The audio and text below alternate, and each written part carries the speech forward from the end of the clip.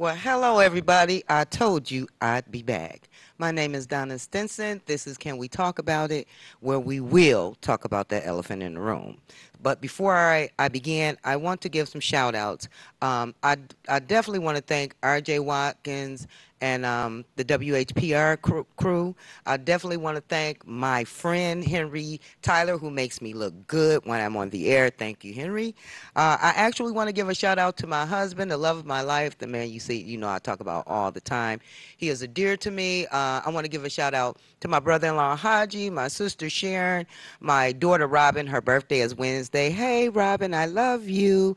And uh, my son Robert. And um, let me see, did I forget anybody? And a friend of mine named Charlotte. Get well soon.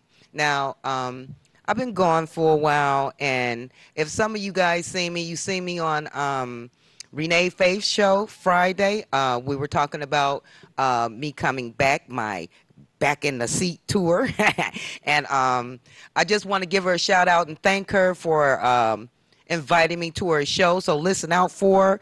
Uh, she's uh, Renee Faith. She's on 107.3 WVIE. Thank you so much. So, uh, as I said Friday, that I had a, a, gentleman named Quincy Smith that was coming on. Uh, so, uh, as you can see, he's not here, so enough of that.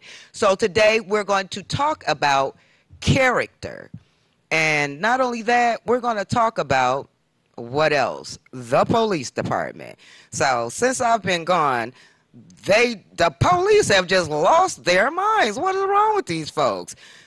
Back back in the wintertime, they had got on some uh, a Caucasian police officer for talking about a young girl. It was we we all know it was very very cold the first of the year, and um, it, he was he was talking talking about her, calling her out her name and so forth and so on, and it just really hurt my heart that this young lady was going through this. And I don't really give too many kudos to the police department, but kudos to James Craig for getting that bum off of the Detroit Police Department. So uh, I really want to say some other things about the police. Now, the police I've been reading up on rights and um, suspicion and probable cause and things of that nature.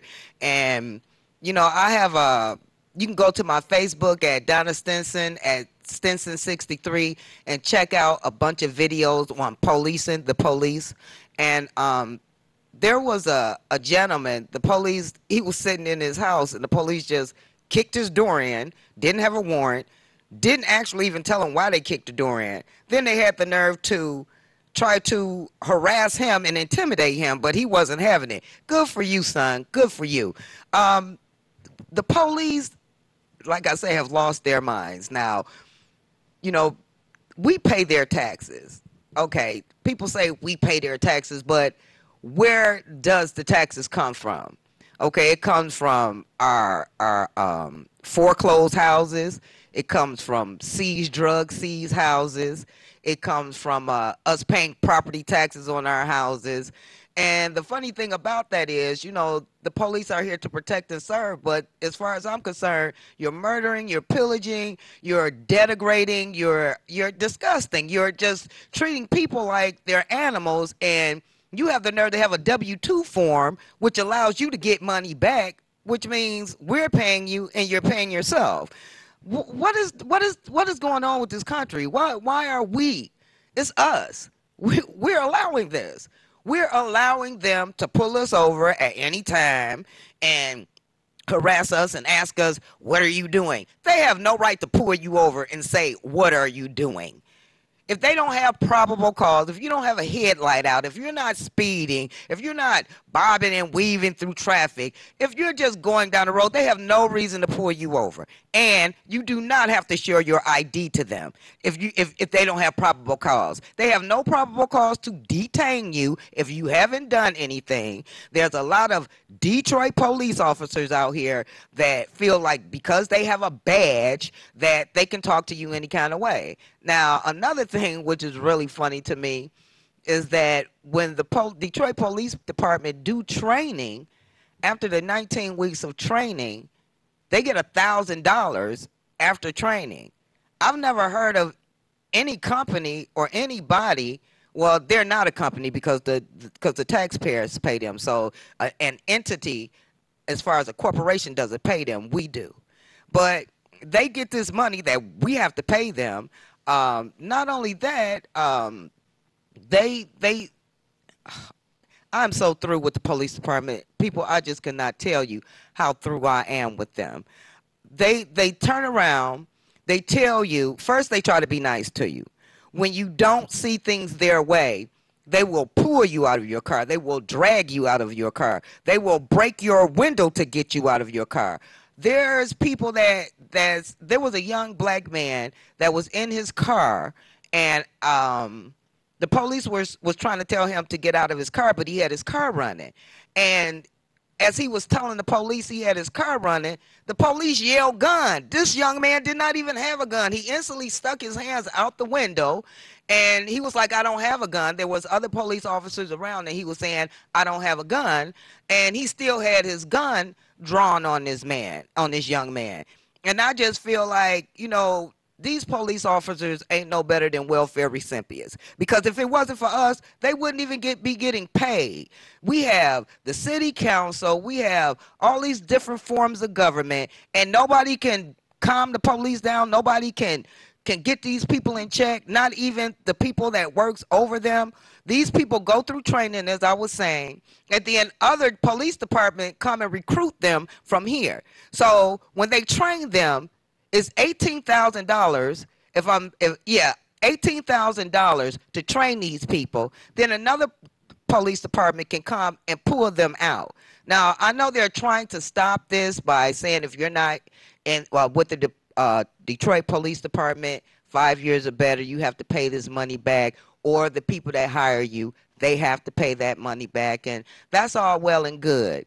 But what a lot of people do not understand and uh, I, I, actually think it's a systematic thing. But what a lot of people don't understand is we do not have to have all these white police officers in the city of Detroit. Now, for every community, for every, like, just say a district, for every district, there's maybe a hundred or less police officers for that district to go into that district because there's what um, 1.4 million people in, I think is Wayne County. I'm not sure. I think it's Wayne or Macomb County. I think it's Wayne County. But there's a hundred or less cops for every every every county.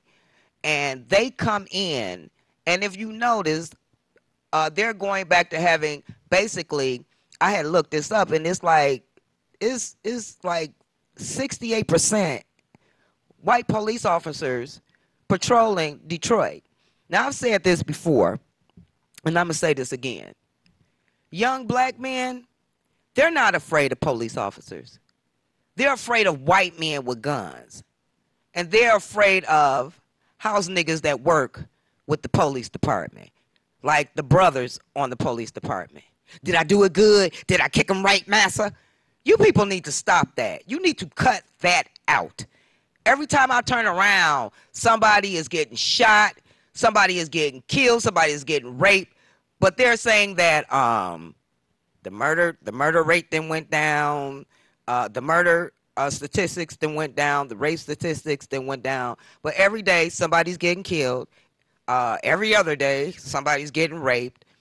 Now they'll come in, they'll have DCF or whoever these people are come in and take your kids and then they'll want and then if they feel like you've done some type of now this is crazy listen to this now they'll have dcs come in and take your kids if they feel like you have a gun in a house and sometimes they even plant drugs in your home or in your car and they will take your house away and say they're seizing it they're pillagers they get their money from like i said from drugs uh, seized houses uh, this is the big one writing tickets.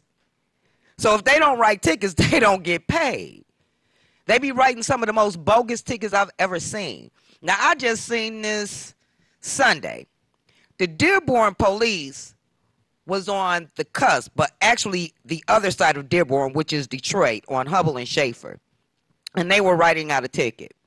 People, people, please the Dearborn police, the Detroit police, Macomb police, these people be right here at these cusp of these cities and counties, and they will give you a ticket, and they're not supposed to. But then they'll tell you you have to come to their city county building so they can get the money. So they're out there scavenging for tickets now. So they're like basically like playing on each other now. They're eating they're eating away at their own system. The police is not here to protect and serve. The police is a gang like the Crips or the Bloods. I'm not saying all of them are. Please believe me. I'm not saying that all of them are. But in my guesstimation, about 60% of them are. And I'm being very generous when I say that. To you police officers out here, especially you white ones, you see young boys in the park playing ball and you want to go and harass them. Now, we just got like a nice little um, park not too far away from where uh, we live at, and it's real. It's really nice, and I know also know I know that um, our property taxes also goes towards the school, and lottery money is supposed to go towards the school. So, what's the matter with the schools?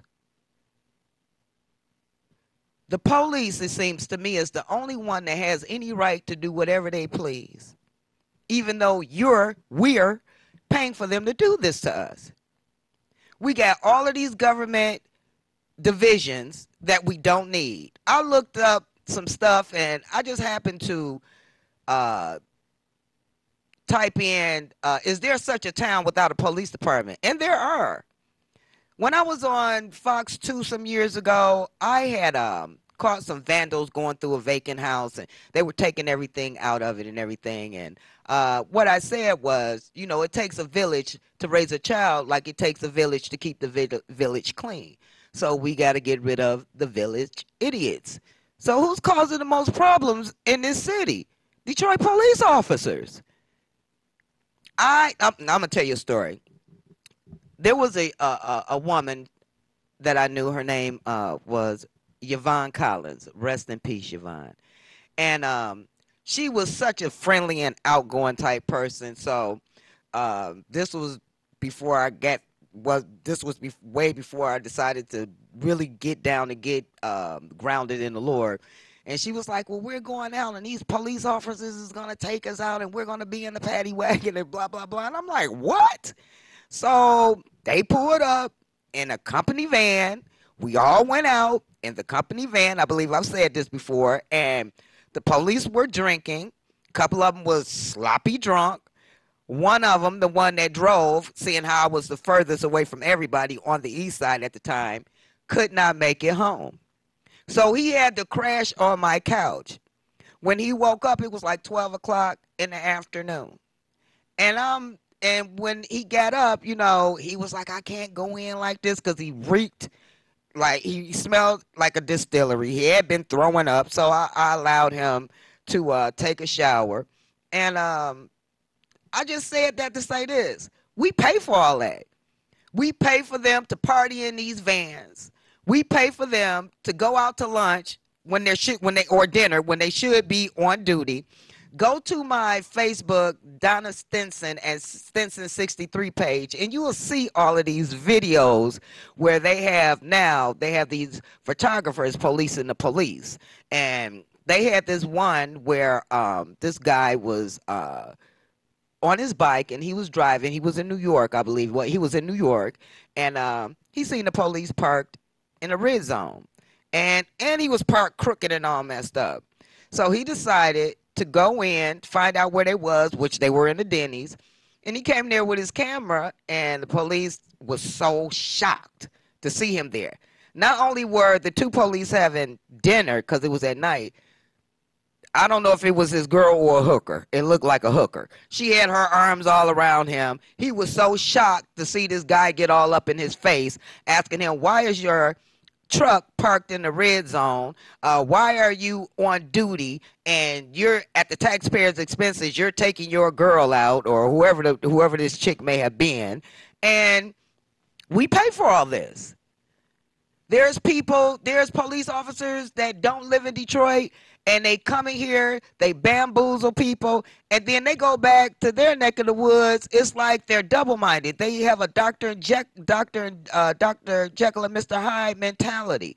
When they're in their neighborhoods, they're so quick to want to help their neighbors. They're so quick to want to help the people at their stores. But when they're in our neighborhoods, some of these cops, I believe, now I, I'm not sure, and I don't have any strong evidence to this. I believe they be strong arming some of these Chaldeans around here. Cause I I don't know how this conversation went, but I know uh, there's a certain store and this and these police officers went in there and um, they was yelling at the owner. He is the owner. I, I know he's the owner. And they went in the back and everything and they came out. I don't know what he put in his pocket, but then he walked out. But mind you, some of these stores sell loose cigarettes. They do all these illegal activities in there. And I believe that they pay these police officers off. So, I mean, how can we ever clean up our cities when the people that's supposed to protect and serve are just as mean and low down and dirty and they they they're just as bad as dope dealers. Now, I know some dope dealers. I know some.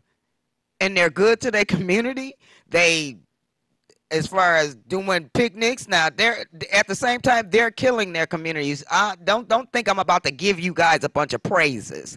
They're killing off their communities. But the police the police is off the hook with it. You can't you can't even say hi to them without them wanting to throw you up against the car. Put your hands up put your hands behind your back. This that and the other. What is wrong with y'all? Why are y'all why are y'all acting like this I'm telling you, I am policing you guys also. Just today, I was coming out of Dearborn. There's two women cops in a in one of these little van, vans or whatever you want to call it that they drive. And they're coming out of Dearborn, and I guess they like, why am I following them? Cause I can, ladies. Because I can. I, I'm I'm gonna talk about these people some more when I come back, I'm gonna talk about you some more. But um, I just want you folks to know that you pay their tax dollars. Your taxes from your homes pay their tax do- pay for them to be on the streets. And then they got the nerve to get an attitude when you say that you pay for them to be here. Like I said, if we wasn't paying them, they would be right down there with some of these poor people that don't have no way to take care of themselves. They'll be right down there with them. Then they moonlight at places like Target, which I know you've seen the, the police officer, how he bashed this young man upside his head with a baton. Now, they're saying, I was reading that police can actually do this, but isn't that a, a conflict of interest for them to do that?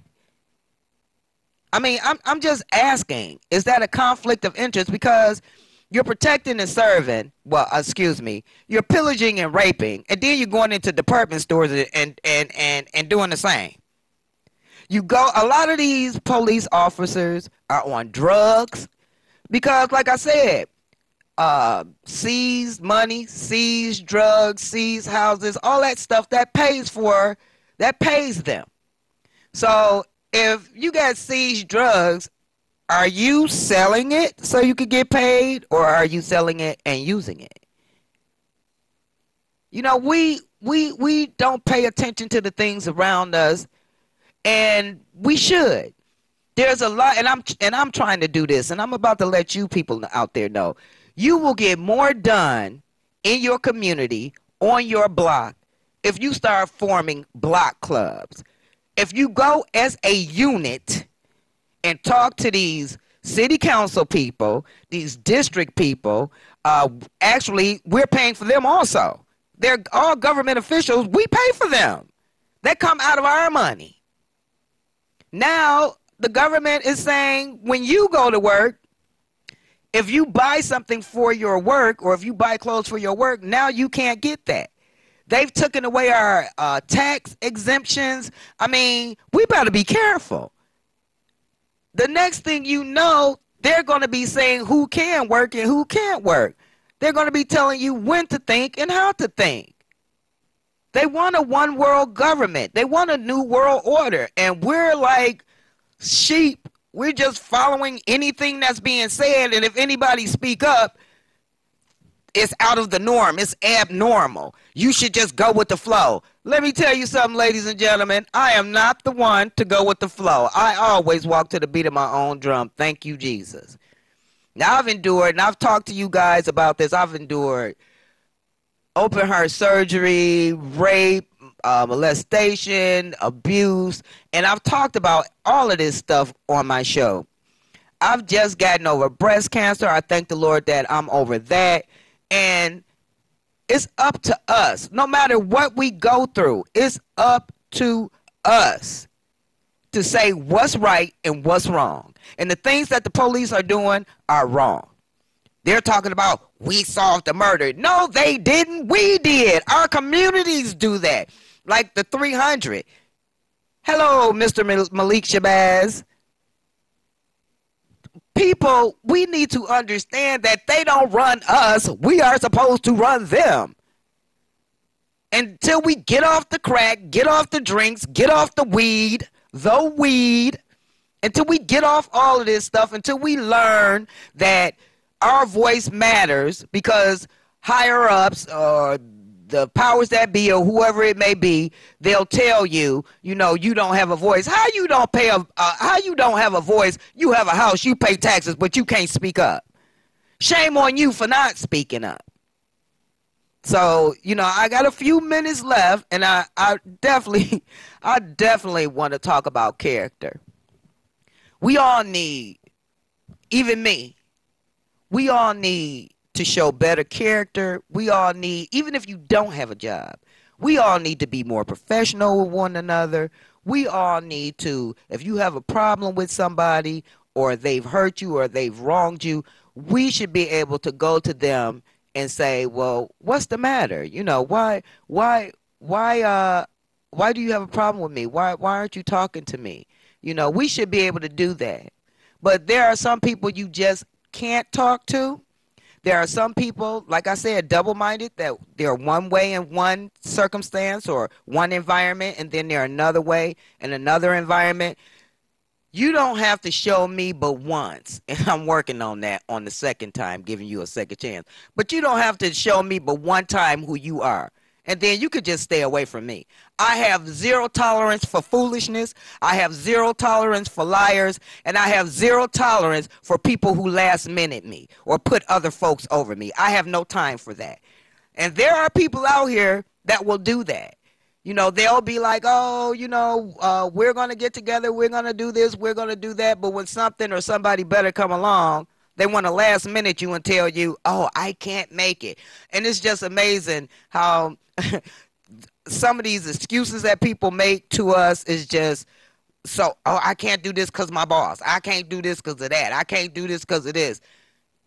When you get around these double talking double minded people and and and and they run this this crap on you you just tell them okay or don't even respond we need to grow up there's children I've talked to 12 and 13 year olds, and children ain't my thing. But I'm getting out of that uh, allergic thing because I'm learning that children, 12, 13, 14 years old, are more mature than grown ups between the ages of 40 and 50. Some of them could be your children, and you can be the dummy I'm talking about. Until we get into politics, until we learn about the districts. Now, I'm in District 7, and that's where Gabe Leland is. I have a weed head or a weed seller or whatever he is. You know, I, I, I read that he was selling weed when he was in college. I read that uh, and then it, has been on the news about the things he's been doing and everything. Why are we not holding these people at the same level of accountability that the police and the courts hold people that do things? When you see now, like young black men, even poor white men, all my brothers and sisters, when they go to jail for drugs, they put a label on them for the rest of their life that make it hard for them to get a job, which causes them to to get frustrated, frustrated, and put them right back out into the same situation that they were in. If you label these people, why won't you label city council? Why won't you label some of these police officers that then got so high or they're so in love like Gabi. He had he had something going on where he was messing around with one of the uh, lady officers there. She actually went on Twitter and put a gun in her mouth. A psychiatrist talked to her for like 45 minutes and said she was good to go, gave her her firearm back, and she's out here right now. There's police officers like back when Motor City first got here who took his pension and blew it, and I think he was a de- deputy sheriff, and blew it in Motor City Casino in the VIP room, and then after that, he blew his head off. We need to get psychiatrists to to to uh, assess these folks, and after they assess them, we should have a council of regular people to go in and talk to these folks that's about to patrol our neighborhoods and our areas areas and find out if they are capable and mentally capable enough to take care of what they're paid to do. Because we're paying them, so we should be able to assess these people, shouldn't we? Shouldn't we? If you don't have character, if you don't have moral character, if, like I said before, when you meet somebody, you're meeting their representative. You're not meeting the real them because it takes time to get to know somebody. So don't don't take people at face value. I found that out the hard way. But don't take people at face value. You know, if you got to tell a person you promise, you promise you're gonna do it. Right there is telling you these people don't have uh, don't have a good good moral character. They don't have good moral standards. Because if you have to make them promise and you can't just go by their word, then don't ask them to do anything for you. And that's just the way it is. So my name is Donna Stinson. I'm so glad to be back. I'm going to be here from now every third Monday from 3 to 3:30. I love you guys so much. I'm going to be bringing more things to you. And until next time, stay strong. Stay strong.